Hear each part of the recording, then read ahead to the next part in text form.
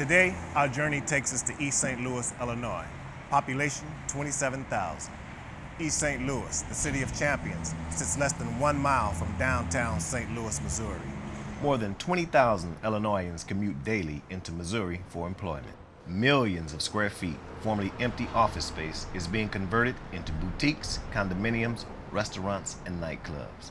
The downtown bristles with activity and has become key to the area's economic development.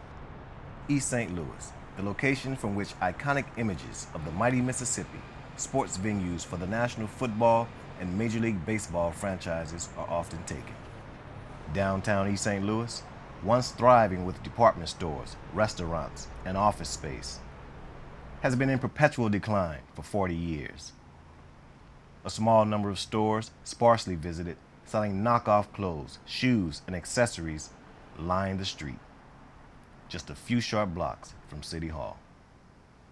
Once beautiful architecture deteriorates unchecked. So we went out to talk to the residents to get their view on the situation.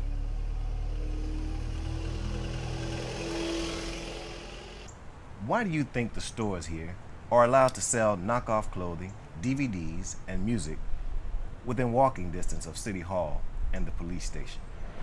Well, I, I think um, the city here in East St. Louis is so desperate for, for cash and desperate for uh, a tax base that they allow people to do whatever they want, uh, not caring about any copyright infringements or, or franchise infringements. Number one, uh, they don't. But due to circumstances, you have uh, bad economy, you got people who are out of jobs. Uh, they want to live the good life also.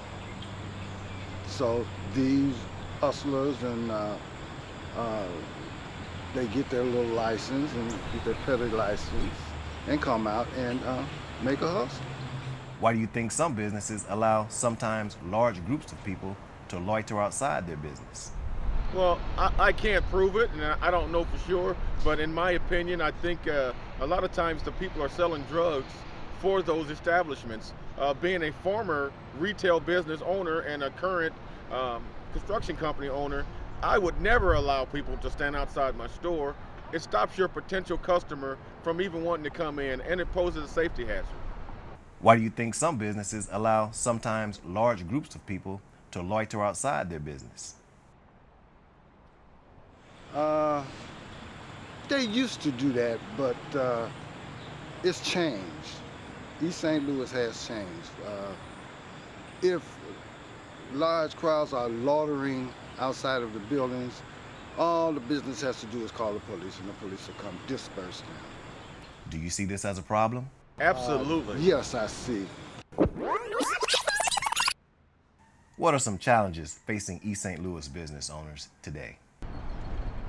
Uh, first of all, it's difficult to even become a business owner uh, in East St. Louis. Um, most of the stores here are owned by um, Arab, uh, Arab and, and folks who aren't from the city of uh, East St. Louis. It's very difficult for minorities to gain a business license in the city of East St. Louis uh, because of the uh, leverage that the Arab gentlemen have here in this community.